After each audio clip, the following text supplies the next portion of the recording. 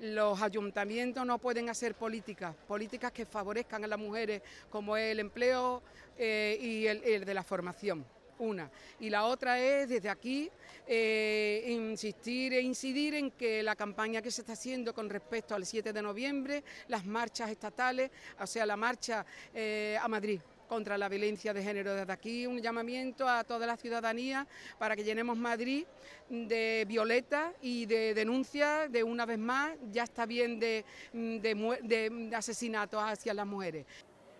¿Te has parado a pensar si puedes hacer algo más?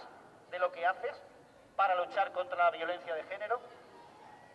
Esta es la pregunta que lanzamos a los hombres. La mayoría hasta ahora nos hemos limitado a contemplar desde la distancia este gravísimo problema.